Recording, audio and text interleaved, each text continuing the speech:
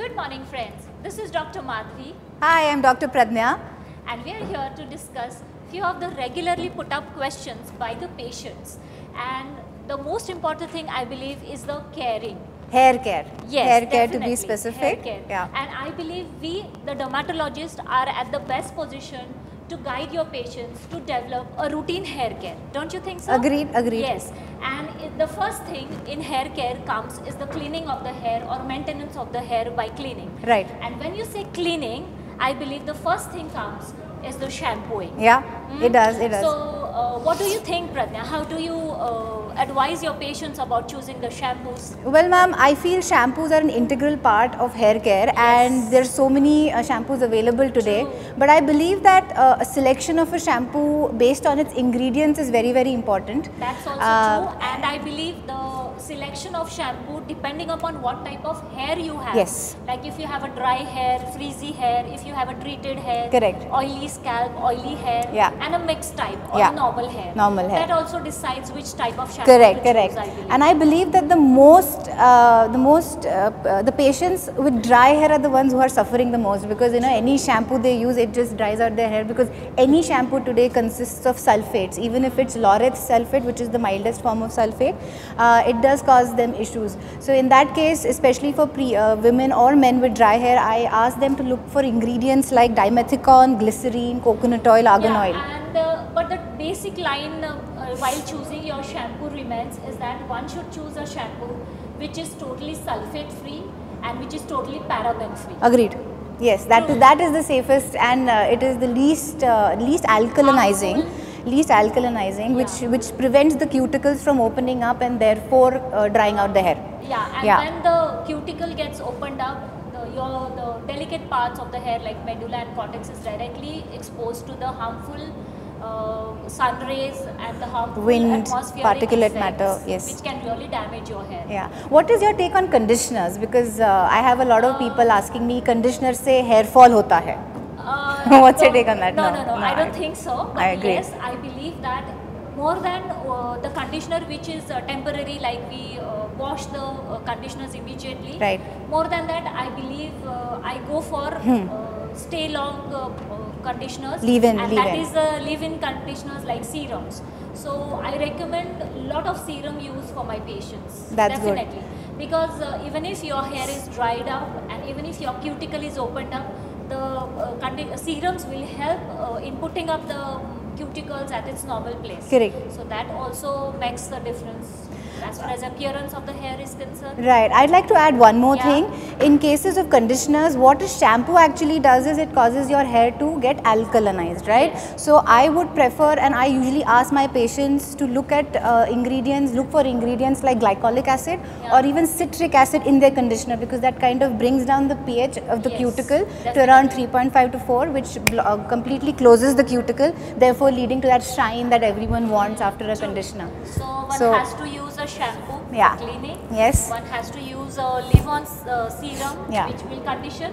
But one more important thing while you're using a serum is I believe the add-on uh, uh, sun protection factor. It has also sun. many a times. Yes. And yes, nowadays women are moving out quite a bit as uh, the skin also needs a sunscreen, so also the hair also needs a Agreed. sunscreen. Agreed. So serum will also have a sunscreen protect, protection also. But uh, the gold standard remains is a broad rim hat when you really want to protect your face, your neck, and of course your hair. It looks smart as well, you know, you got that chic Yeah. look with that hat everywhere. And you can have a decorated ones also. yes, you can. Uh, So, what do you suggest patients uh, who ask for um, reduction of their frizz or you know the dryness with a cysteine or a keratin treatment? What do you tell Well, them? there is a lot of boom about uh, Yeah. straightening, rebonding, keratin treatment, and cysteine treatment. I believe cysteine treatment is one of the uh, latest ones, Mm-hmm. which includes the cysteine complexes, which is actually amino acids. Mm-hmm. But what is your take on this, Pradnya? Well, like to uh, know. well, I had the opportunity to study it a bit, and uh Uh-huh. for me, cysteine keratin treatments again involve alkalinizing the hair. It's actually deposition of those amino acids on the hair. So what what it literally does is it opens the cuticle with a reducing agent. You add in that product, Yeah. And after the product dries, the worst part of the treatments is when you straighten them out. So you have to use extreme iron, heat. Use the hot iron. Correct, and that is where the damage occurs. So for me, if you have frizzy hair, cysteine keratin is not the way to go. I do understand if you want to cosmetically change your look, maybe you could try the cysteine keratin. But to reduce the dryness, using a cysteine keratin is not the way to go. Not the Definitely, way, and then uh, post-treatment care is immense. Yeah, important, yes, it does. And I it, as and as your hair grow longer and longer, it this, this hair is already dead, right? So as it grows longer, it gets even more frizzier, and then you end up doing the same thing over and over again. True. Yeah. And one more thing about uh, using any kind of hot iron or hot air dryer, again is very. Uh, you have to be very uh, uh, careful about it because the hot temperature Hmm. can damage your hair and can lead to bubble hair formation. Right. And these bubble hair formation, once it is there, you have to cut that hair. Correct. It cannot be repaired. Correct. So, uh, guiding about the, the hair dryer use also, I would believe using a cold mode, if at all you want to use a hair dryer, makes sense Yes. rather than using a hot mode i agree and that just makes life very simple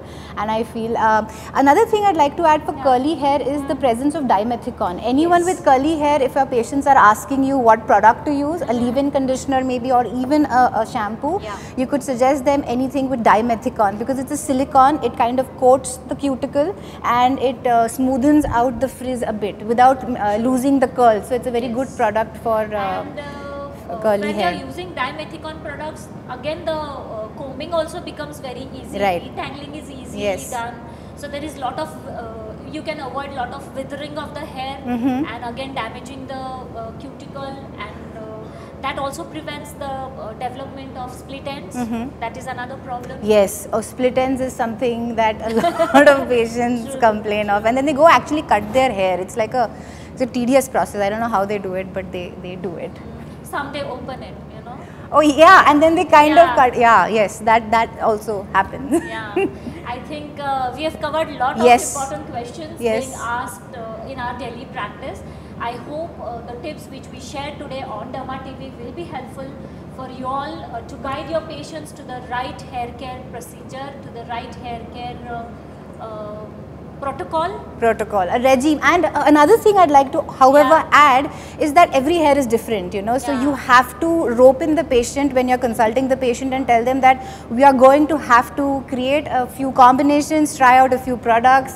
There is going to be a little expenditure of money uh, to be able to find out if a product suits you or not. But once you get the hang of how your hair is and how it functions, you'll be actually able to use different products and maintain the hair as it is, you know. So I believe, as I uh, said uh, Hmm. in the very beginning, we, the dermatologists, are supposed to give them a skincare routine and a hair care routine. Yes. And once we plan it for the patients, even if they continue with the same, I don't think they will develop any problems ever. Mm-hmm. And if at all they develop, maybe they can take the help of a doctor again. Yes, I think um, visiting and us, the, the, the dermatologists, like uh, Dr. Madhavi said, being the middlemen, I think we need to be well versed and we need to study uh, how these treatments work and therefore guide the patient because the patients are going to go do it anyway. So instead of treating their bad hair, might as well help them get better hair and healthy hair, right? Yeah. So it was uh, Wonderful, yeah, wonderful it was being wonderful here. sharing with you all the tips.